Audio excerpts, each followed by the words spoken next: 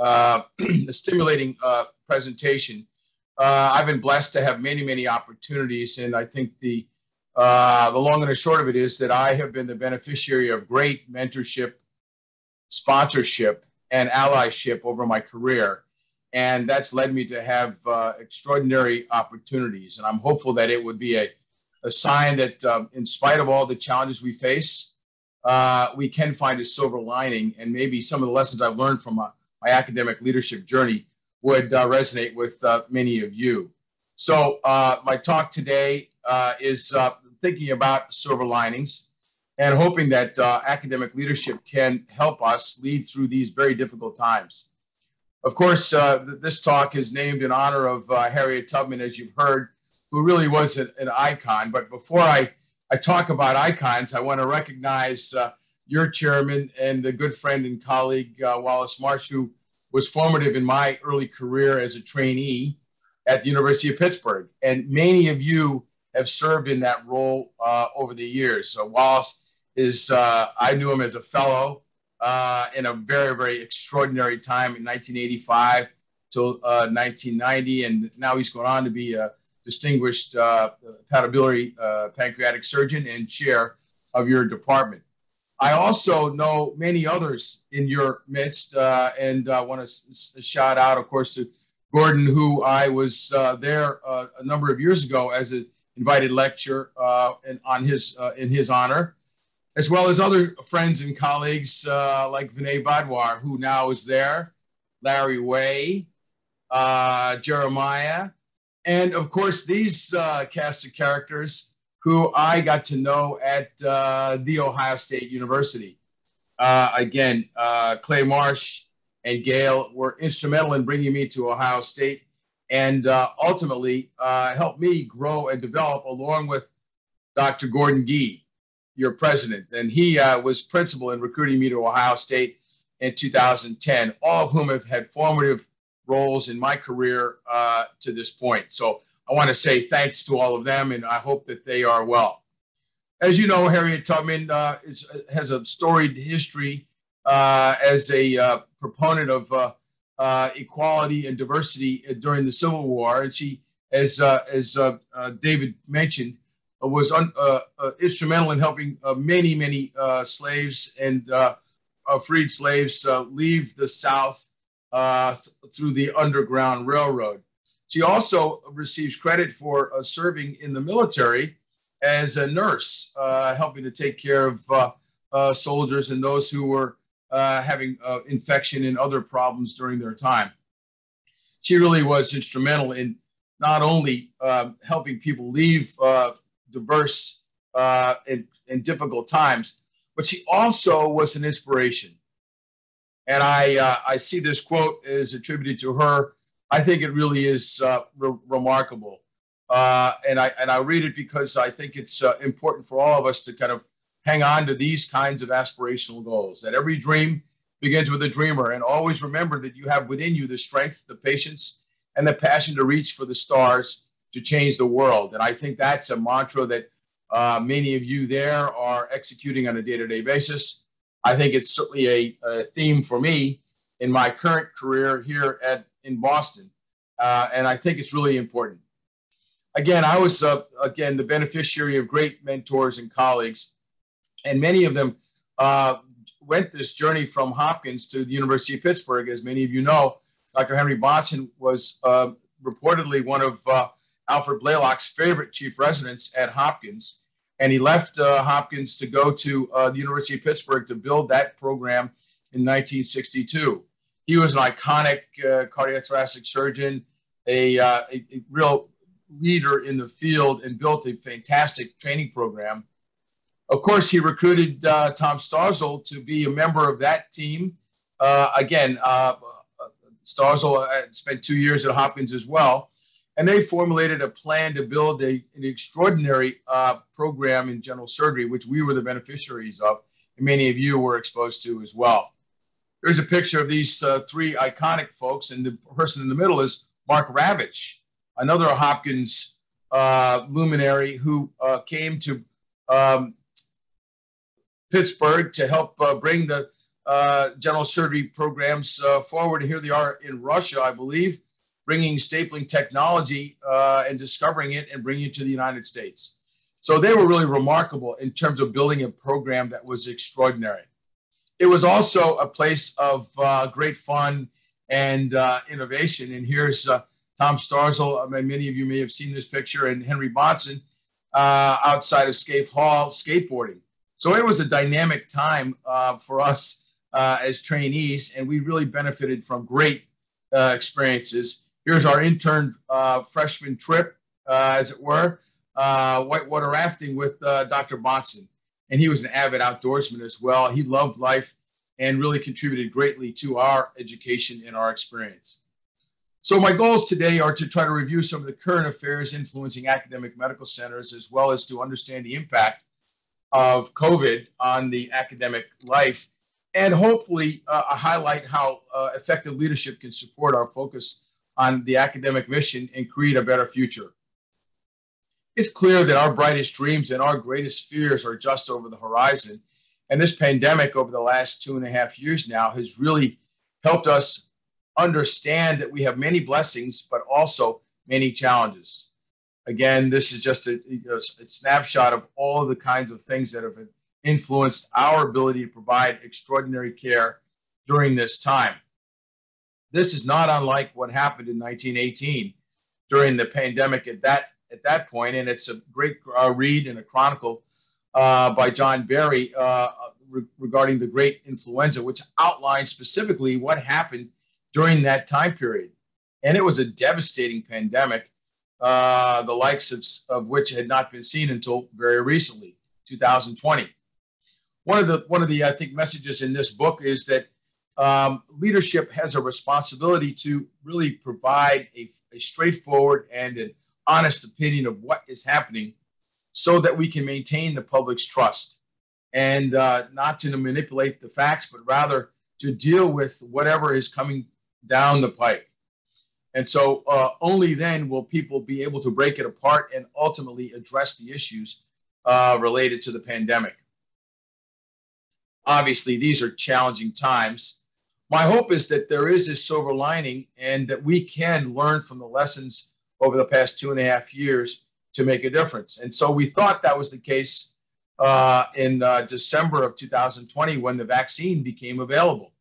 Some of the work that was done here at the Brigham with the Moderna vi- uh, vaccine as well as the Pfizer vaccine. It's ironic that this picture of the woman who was, uh, uh, I guess, uh, the first person to receive the vaccine um, was a person of color. And yet there continues to be extraordinary concerns and hesitancy, not only in the minority, but in the majority about the vaccine and its efficacy. Yet uh, this nurse uh, is reportedly the person who received the first vaccine on December 19th, 2020. And so we've really uh, understood a lot, but we have a lot more to recognize. And the impact of the pandemic uh, is going to linger with us long after 2000, 2022. As a number of these variants uh, arise, uh, it's unclear which one is going to come up next. And so the next surge may be a lot like the influenza vaccine. The new norm may be that we have a new one every year, unfortunately. And hopefully, our uh, medical infrastructure can develop vaccines to help solve the problem. But it does create significant impact on our patients, our families, and our healthcare systems. And we have to be prepared to deal with this on a regular basis.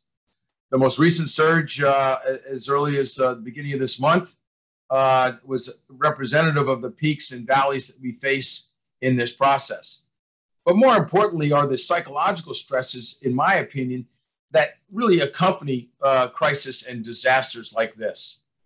There are psychological phases of uh, recovery, as well as uh, you know disappointment and disillusionment, and ultimately the ability to move on after the uh, pandemic has had its impact. And so many of us are going through these kind of cyclic uh, ups and downs, which create psychological challenges as well as uh, you know, challenge the well-being of our communities. The unintended consequences are obvious for our frontline workers, and this uh, post-traumatic stress uh, uh, syndrome really does create a burden for our nurses, our practitioners, our residents. And so we have to really manage that very carefully. So strong leadership during the public health crisis is critical as we deal with all of these uh, variety of uh, issues. Um, because some patients, uh, again, the morbidity, the mortality has been extraordinary, but many of us are struggling with how to lead through this process. From a surgical standpoint, we're trying to get back to a more normal surgical life after the pandemic and the leadership imperative, I'm sure there at West Virginia, as well as here in Boston, is really to think about safe and strategic, as well as thoughtful reinitiation of our surgical activity so that we can get back to 100% capacity in the coming months. Uh, we may or may not need pre-procedural testing, uh, but certainly utilization of uh, protective equipment is important. And of course, vaccination of our population would be ideal, particularly with boosters. Uh, we will eventually get back to more elective procedures. Um, we have to worry about those who are asymptomatic but have positive uh, uh, titers. And again, we have to worry about a resurgence in 2022. So it's likely that the new norm is going to be uh, one of universal precautions, probably more telemedicine, less in person meetings, fewer big academic meetings, and ultimately limited travel, depending on your risk tolerance. The economic impact cannot be understated in terms of on our healthcare delivery systems as well as our organizations. And we really have to persevere uh, financially as well as uh, with the wherewithal to deal with these problems. So you might get depressed if you were to uh, be disappointed. And yet these difficulties uh, can be, uh, in the pessimist's mind, overwhelming. But as an optimist, and I continue to be optimistic about our future, I think that we can find opportunities in every one of these difficulties. So I use my personal experience in my journey, which often tells a story. My mom and dad met in Nashville when my dad went to Meharry Medical School, and my mom went to Fisk across the street. And they married and uh, moved to uh, uh, Southern California, where I was born. And my dad was in service to the Navy. My brothers and I then moved back to Charleston, South Carolina, where my, my dad was from. And uh, the three boys uh, lived an idyllic life in Charleston, South Carolina until 1964 when it all came crashing down. My dad was killed in a car accident when I was five. My brothers were three and one. He had no life insurance, and my mom sold everything and moved back to upstate New York. We moved in with my grandparents uh, in a two bedroom apartment and lived there until we could buy a house. Um, my grandparents uh, saved and scraped. My mom worked a couple jobs and ultimately, uh, they were able to buy a house in a night neighborhood uh, in Albany, New York. Unfortunately, uh, we were not welcomed there, and the house was burned to the ground in 1965. So, aggression against people of color is not a new phenomenon. And yet, we persevered, and my parents created opportunities for us uh, private military school. All three of us went uh, ROTC for 12 years in order to give us the opportunities and the discipline to be successful in our lives. And that foundation creates, I think, the uh, foundation upon which my leadership journey has been uh, uh, guided. My mom used to say, We're gaining through our losing in our lives. And she ultimately taught us that to deal with adverse situations, you had to deal with the reality. In spite of what you wanted it to be, this was the message in our home. They encouraged and enabled diversity of thought to bubble up uh, rather than to be top down, and the, the, the, the generating consensus by wisdom of crowds was likely to be the best strategy. During chaos and crisis, she oriented us not only to the opportunity and not to look beyond the crisis, but to obviously confront the unavoidable difficult issues that we had to deal with. Now, there are many things that really matter, few that we can control. And what she taught us above all else was that we should focus on the things where there was an intersection between what really was important and what we can control. So I was the beneficiary of many career opportunities Loved every job that I ever had, starting at Henry Ford Hospital in 1993 as a transplant director, to the Medical College of Virginia, to Rush in Chicago, and the Ohio State University. All great opportunities for me to not only learn, but also to apply the rules that I learned during my time. What I learned also was that there were academic skills which many people had acquired, but the distinction between academic skills and leadership was obvious. You obviously had to, you know, fund your knowledge and have a strong work ethic and be highly motivated to get individual results in this journey. And ultimately, that led to the rise of the academic letter. But more importantly, emotional intelligence, the ability to work with others and understand your impact in their lives, as well as to develop a broad range of intelligence and insight, was helpful, along with a very strong work ethic and a sense of institutional motivation to be successful. And from my perspective, that was a transition, as I'm sure Wallace and others and Vinay will say, it really transitioned from not only serving your own best interest, but the institution's interest, and ultimately getting institutional results. And quite frankly, managing above, above your rank as well as below. And this 360 degree emotional intelligence is critically important to being effective as a leader in the current academic environment. So, what are you thinking about as you look at management versus leadership? The difference, in my opinion, is management is the act of coordinating the efforts of people to accomplish goals or objectives uh, in an efficient and effective way. But leadership requires the ability to influence those around you and enlist their aid and their support to accomplish a common goal. And so these are some of the distinctions for the younger people in the audience where leadership can have a huge impact uh, as opposed to management of a current academic medical center. So there's no greater need for leadership now than in the current socio-political environment in which we live. And so I'm going to shift a little bit and talk a little bit how these leadership skills can help us manage any one of these challenges or these crises, whether it be the pandemic or some of the socio-political and racial problems that are occurring around us. In the spirit of Harriet Tubman, we understand that these things are not new. And deja vu, of course, uh, from Yogi Berra, is the feeling that one has lived through the present situation before. Obviously, being Black in America during the 1900s was a very difficult time. And it turns out that the lived experiences of being Black in America is now the point of consternation and concern for many in the majority, primarily because of social media and the real world evidence that there are violations of human rights directed against those who may be most vulnerable based upon their race, their gender, their color, or their sociopolitical background. And these are not new phenomenon.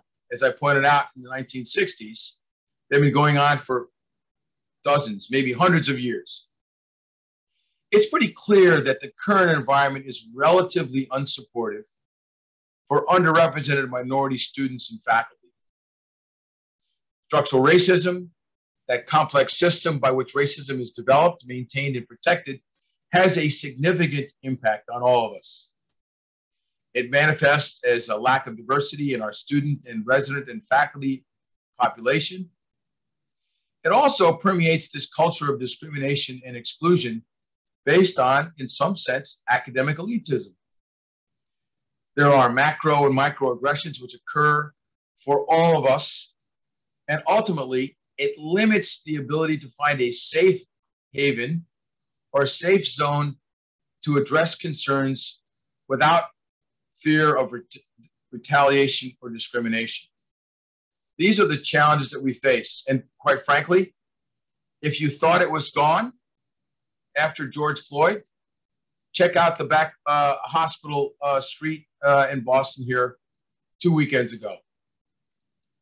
These uh, white supremacists were protesting in the front of the hospital that the Brigham and Women Hospital, my new home, was uh, allowing for white patients to be killed, and that it handed out flyers of these two young investigators who are trying to work in the diversity space. Just weeks ago, this uh, occurred in Boston. Now, hopefully, better education and a greater understanding of what was really happening would be evident to the rest of the world. In fact, this, uh, this demonstration occurred as a result of a paper that was presented in 2019. And if you look at the facts of the paper, here's the actual publication that they were citing. These young investigators uh, working on health equity and, dis- and, and disparities identified racial inequalities in access to specialized heart failure care at an academic medical center, the Brigham. The publication came out uh, as an American Heart Association publication. And here's exactly what they reported.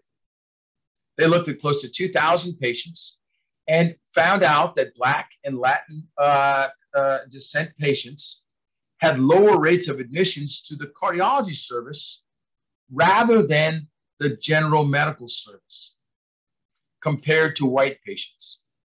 And they concluded that they believed that this might contribute to worse outcomes for those patients. They suggested that this inequity might in part drive racial inequities for the African American patients who are admitted more frequently after treatment on a general medical service. And yet they were called out as being racist for preference to persons of color rather than those who were served in their space. So this just tells you how social media and some of the extreme perspectives have tainted our perspective. But if, in the words of Martin Luther King, we're hopeful that we can carve a tunnel of hope through the dark mountain of disappointment, whether through our personal experiences or the experiences in social media or in the socio-political environment in which we live. Ultimately, in order to make a course correction, we really must understand that privilege is invisible to many who have it. For those who have privilege, equality feels like discrimination. Justice will only be served when those who are unaffected, many of you, are as outraged as those of us who are affected by some of these discriminatory activities. So I'm hopeful that uh, we can define some of these concepts to provide clarity about what we're talking about as we move forward, because education, I think, is critical to understanding. So, first and foremost, I would say, what are we talking about when we talk about diversity? Many people characterize it as black versus white. But in fact, diversity, in my opinion, is the diversity of people, but it's also about thought and experience and inclusion of all members of our medical community from my perspective, it's vital to the fulfillment of our profession's purpose of critical inquiry and discovery. And it implicates virtually every component of our academic research and service missions. So, to understand diversity, we often have to define it more clearly. Diversity focuses, in my opinion, on a representation. It's the collective mixture of characterized differences. They are not only racial, but they also could be socioeconomic and language and religion and sexual orientation and gender identity, as well as ability status. It's the diversity of all things that have an impact in our lives. Inclusion, on the other hand, focuses on involvement, the practice of encouraging and belonging, inviting those to participate, and celebrating their differences. So you might characterize diversity as being invited to the party, whereas inclusion is being asked to dance at the party, participation being the operative word. Many people confuse equity and equality, and they are two strategies that we use in an effort to produce fairness. Equality is treating everyone the same. It aims to promote fairness but it can only work if everyone starts from the same place and has the same needs for assistance. Equality as I stated, but equity is giving everyone what they need to be successful. And so this caricature, I think, it points it out pretty clearly. The reality is, we all have different levels of uh, station in life. Our hope is to liberate us from all of these challenges and create opportunities through programs that produce fairness, either health equity and or equality of treatment. It's further uh, my opinion that uh, if diversity of our healthcare workforce could actually save lives, shouldn't we be considering the current circumstances of the public health crisis?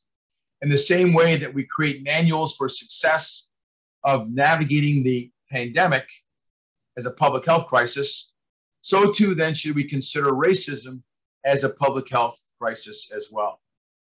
And this is a, a, a, a means to think about how to respond to some of these problems.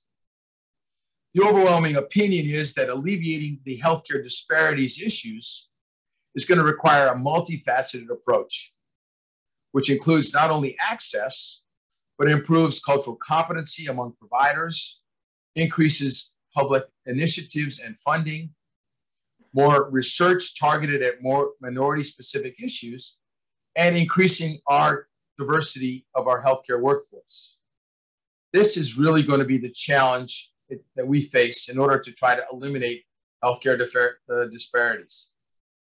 And this was well documented by the Institute of Medicine in 2003 in a report that looked at disparities and basically said that racial and ethnic minorities receive worse health care than non minorities, and that both explicit and implicit bias played a specific role. This is evident looking at healthcare disparities along ethnic lines. Uh, as this graph depicts, life expectancy has increased for both Caucasians and African American men and women over the past 35 years. But there's still a five year gap between men and women, uh, and a seven year gap between men of color and white men. So this is significantly uh, impacting long term outcomes. And that gap hasn't changed much over the past several years. If we think about social determinants of health, this is a uh, reference from a paper that was uh, published in 2018. And it's a heat map looking at some of these communities which deal with socioeconomic and other access issues. And what we find is that these communities in the red are distressed communities. And distressed communities metrics were defined as things like educational attainment, housing vacancy, unemployment, poverty, changes in employment, and ultimately the lack of businesses to support employment successfully. So these are the communities which are struck by not only healthcare disparities, but also significant socioeconomic barriers. I've been fortunate to work uh, to translate some of the experiences I've had in places like Detroit and Richmond and the west side of Chicago and Baltimore to learn from my experiences. And I, I would say for the young people in the audience, uh, as you start out your career, my hope is that you would uh, be on the journey to become a clinical expert and then developing a research interest or a focal point. In my case, it was health disparities in the transplant and cardiovascular space, and to identify those around you with a common interest. And many of you on this call are part of that team that ultimately led to a successful uh, mentorship team in, in, my academic career. This led to uh, not only drawing upon my clinical experience to create publications on disparities, but ultimately led to leadership opportunities where I could help others grow and develop in this context. It's pretty clear that these disparities in cardiovascular care have many, many potential culprits. Some of them may be distrust between the doctor and the patient relationship between black and white. Some doctors may be caring uh, for populations that they're basically overwhelmed in. They may not have adequate resources. They may or may not deal with patient populations that are well informed. There may also be racism among doctors and racial insensitivity of the patients that they care for. But ultimately, we know that there's a disparity in terms of the number of underrepresented minority cardiovascular specialists.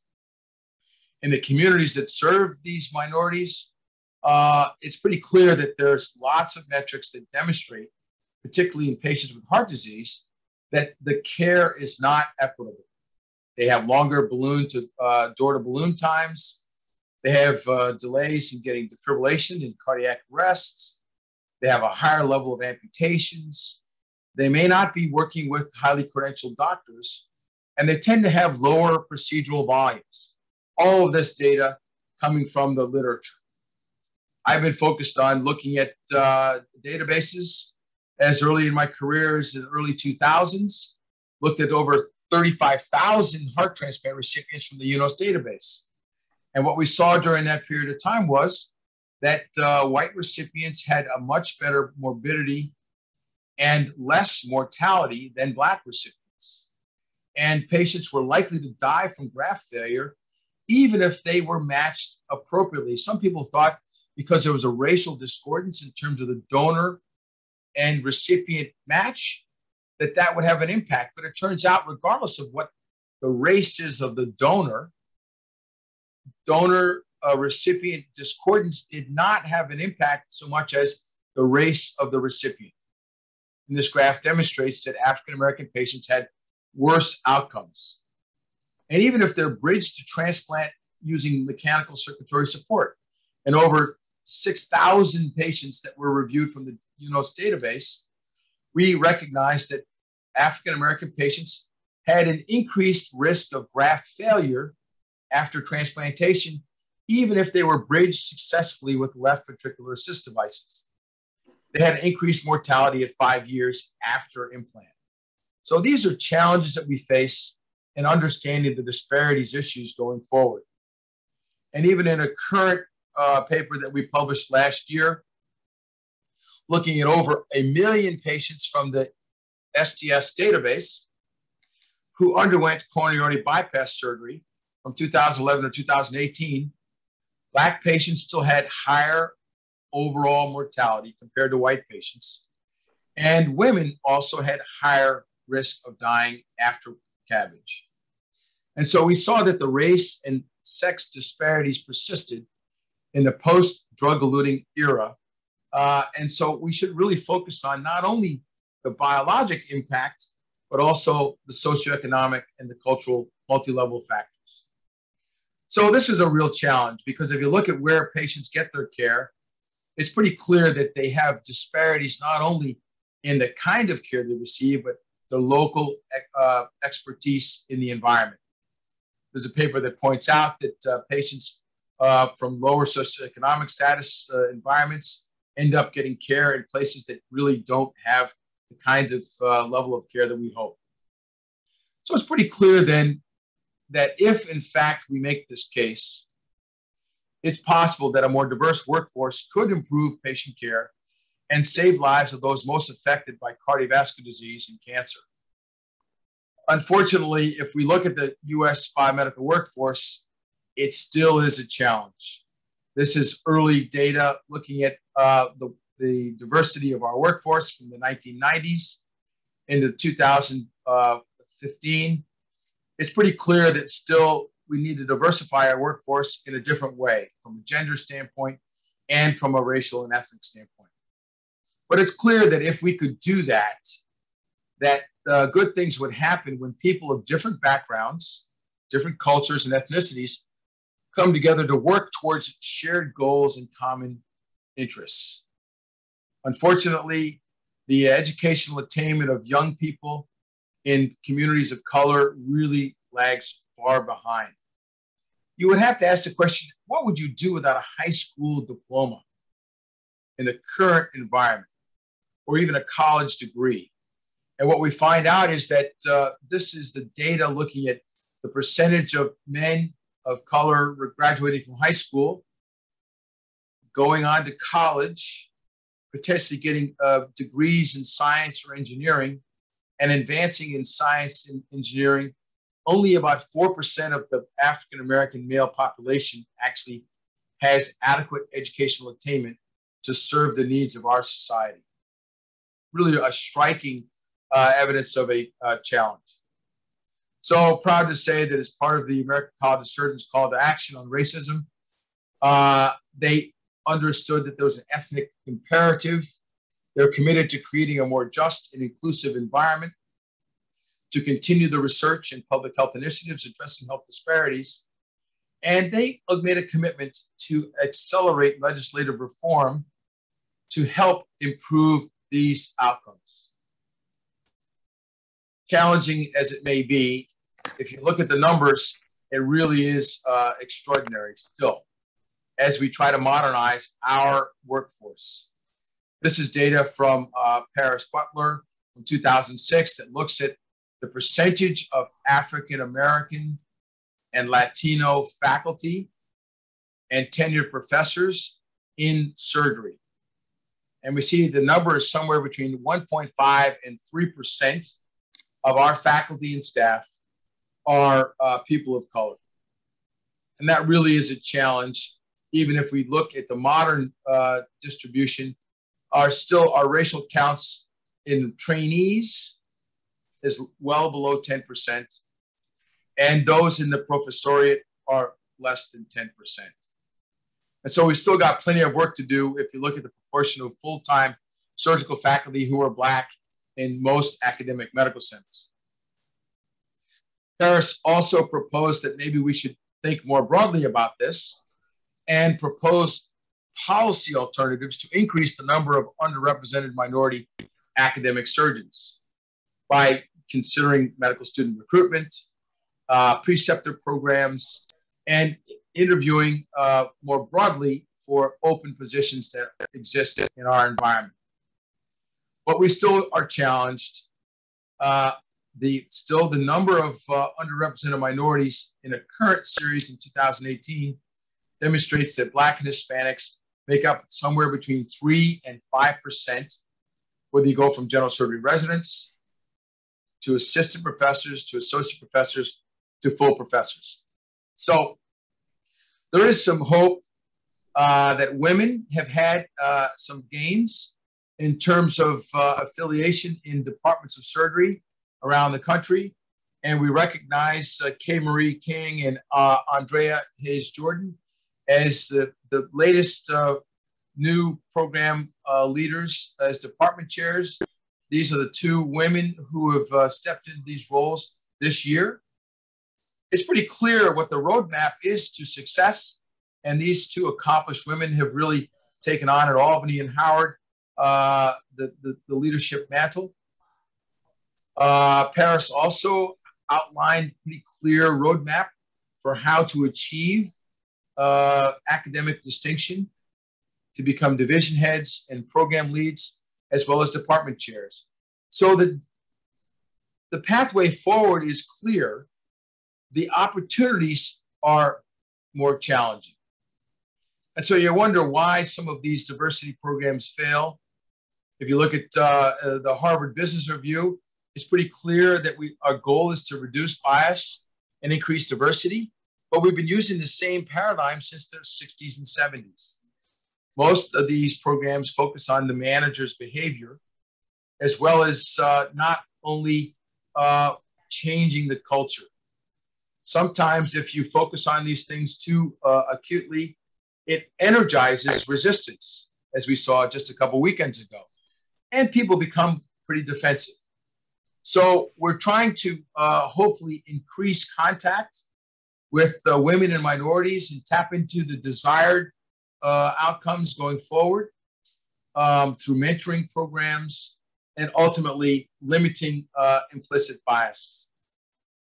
So, just to mention about that, because I think um, it would be uh, erroneous to not call out implicit bias as an important factor. As you all know, it's a preference for a social group that is both unconscious and automatic.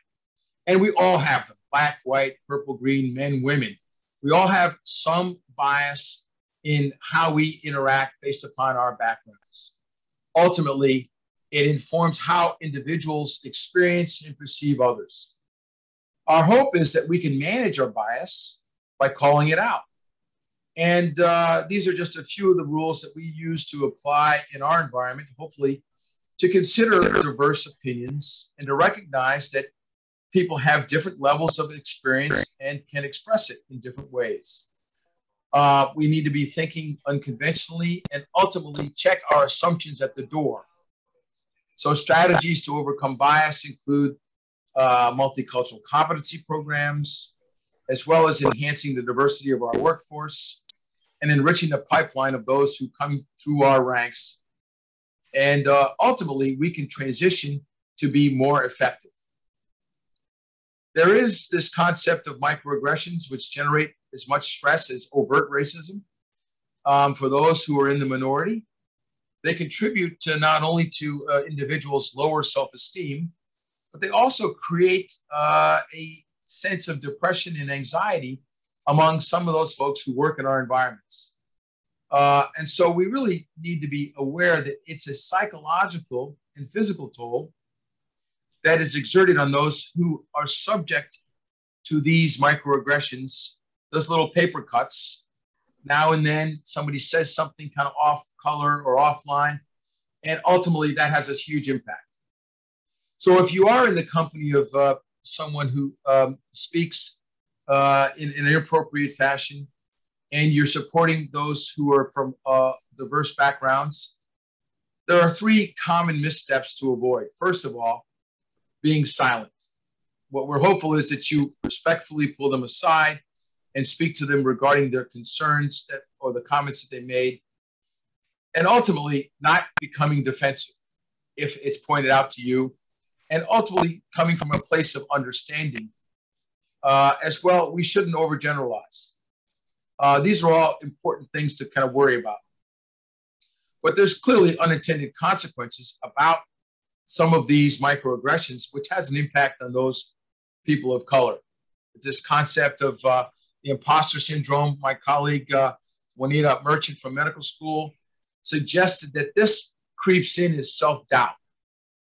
And if it recurs over and over again, uh, some students and faculty of uh, you know accomplished uh, environments leave academic ranks because they feel like they're not uh, welcomed. And so we need to make sure that the system is more sensitized and supportive of students and faculty who may be subject to these problems. So uh, as I summarize, what strategies to work? Well, obviously, medical school uh, recruitment programs that target women and minorities, uh, creating contact between different groups and socialization, as well as mentorship, sponsorship, and allyship. Professional organizations are leading a lot of these uh, charges, thinking about uh, making sure you in- include a diverse candidate pool for every applicant that uh, position that's open, and this concept of inclusive leadership and ex- inclusive excellence. Inclusive excellence uh, is defined by the AAMC as the recognition that an academic community or an institution's success is dependent on how well it values, engages, promotes, and includes a rich diversity of students, staff, faculty, administration, and alumni as part of its group. And so what, what we can do is diversify our early pipeline, increase the number of applicants to medical school, and many other programs. This is just an example of a program we had at Hopkins with the Baltimore Collegiate School for Boys. Many of these young men came from uh, difficult environments in inner city Baltimore, but seeing faculty and staff who were committed to help them made a world of difference in, I believe, their experience and their vision for what they could accomplish in the future. So we've seen some very impressive results among women in uh, fields that have been underrepresented over the years. And this is a picture of the women in thoracic surgery at one of their early meetings when there were just a few women in the field.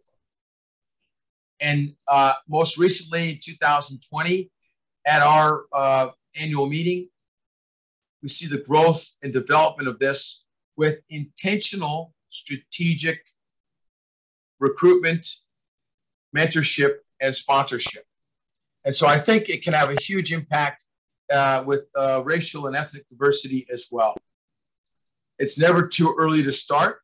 And these are uh, a group of young people that we sponsored in my, my wife's class of uh, young kids that she was uh, looking after. Uh, it's never too early to invest in these young people. And the point is made that uh, ultimately they can see what potentially they could live and grow up to be uh, through the uh, progressive steps in the educational space. Once folks arrive in our environments, we need to make sure that we recruit and retain them, provide professional and leadership development, and make them feel like they are part of the equation of success in our environment. Sponsorship is critically important. Local uh, activities at uh, schools all helps to fuel the, the fires for this extraordinary effort. And so I'll close with the idea that allyship is the practice that we all can emphasize. Social justice and inclusion, as well as human rights, on behalf of the members of an in group, can help to advance the interests of those who have been marginalized over the past. Everyone has the ability to be an ally because it really is intersectional. And it is a process of lifelong relationships, as many of you have created with me, of trust and consistency, as well as accountability, so that I feel welcome and uh, supported in your, your environments. It has to be recognized as an important and conscious effort, but an opportunity to grow for all of us, not just those in the minority. So it's pretty clear that the sponsorship concept has power. And many young people, as they move up in an organization, recognize that someone with leverage in the organization that can make things happen can often create opportunity for them. And it ultimately will be more effective if they have a sponsor. So, as I close, I want to say thank you again for the invitation uh, to recognize that we can make a course correction uh, particularly in our surgical legacy, but across our academic medical centers. The legacy of surgery has been outstanding in patient care, medical innovation, and education. Our goal for every student, resident, and faculty member, particularly underrepresented minorities, but not exclusive to them, is to create a future where they can continue to be part of the environment and they can be seen, heard, and valued. I believe we can overcome overt and unconscious bias, but it will require active listening and strategic action. And we all need and benefit from role models, allies, mentors, and sponsors. With a focus on inclusive excellence in patient care, innovations, and surgical training, we can and will create a more diverse and inclusive environment and ultimately save lives with that, I'll say thank you, and I'd be happy to uh, answer any questions uh, that the audience may have. So thanks again, Wallace, for the invitation, and Doug, as well as all my friends there. Uh, appreciate all that you've done for me in the past, and look forward to uh, hearing more about what's going on at uh, West Virginia. So thank you so much.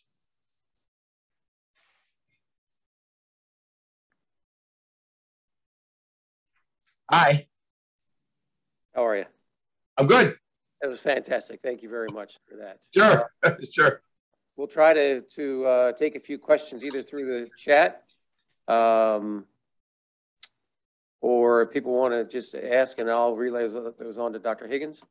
Okay, great. Bob, can you hear me? This is Wallace Marsh. So, uh, Dr. Marsh has something to say. Bob, can you hear me? He can't hear us, Dr. Marsh. So I have them on, I have them on my cell phone. I'll just put it in the chat. Okay. So people are sorry.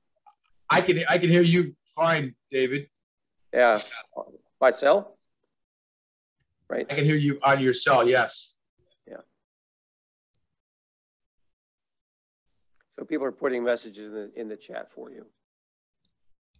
I see and lots of good I see lots of good friends there. I see Ghulam Abbas. Uh,